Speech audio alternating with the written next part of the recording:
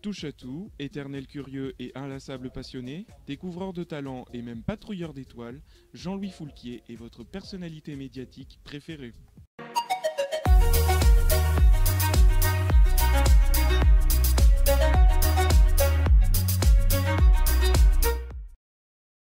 Né en juin 1943 à La Rochelle, Jean-Louis a toujours admiré sa ville natale. Joueur de rugby au stade Rochelet, il se souvient aussi de sa première cuite qu'il a eue à 15 ans avec du cognac. À 18 ans, il est standardiste puis devient très vite un des animateurs clés de France Inter en proposant des émissions de radio comme Studio de Nuit, Saltamanque ou Pollen. Il fit découvrir aux auditeurs Jacques Higelin, Renaud ou encore Bernard Lavillier. Plus tard, c'est avec l'émission Captain Café sur France 3 qu'il continue ce lien étroit avec la chanson française.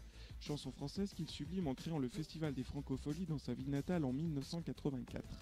Sur la scène, Woolsey, Léo Ferré, Johnny ou encore plus récemment Stromae ou Julien Doré. Chaque année en juillet, ce sont des dizaines de milliers de spectateurs qui investissent le centre de La Rochelle pour s'émerveiller devant les talents francophones. On voit aussi Jean-Louis Foulquier en tant qu'acteur dans plus de 16 longs métrages des années 80 à 2005 et dans plus d'une trentaine de téléfilms, de Maigret à Vive la Colo en passant par la série de l'été Dolmen. Ce qu'on connaît moins du Rochelet, c'est son attrait au théâtre et à la peinture. Il a notamment joué dans la pièce La première gorgée de bière de Philippe Delerme en 2010, a exposé plusieurs de ses toiles sur l'île de Ré récemment. Il nous a malheureusement quittés le 10 décembre 2013 des suites d'un cancer du poumon.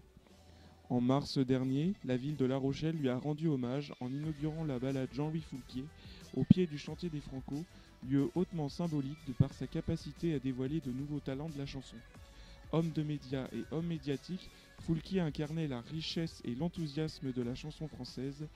Il restera à jamais une des étoiles du ciel rochelais.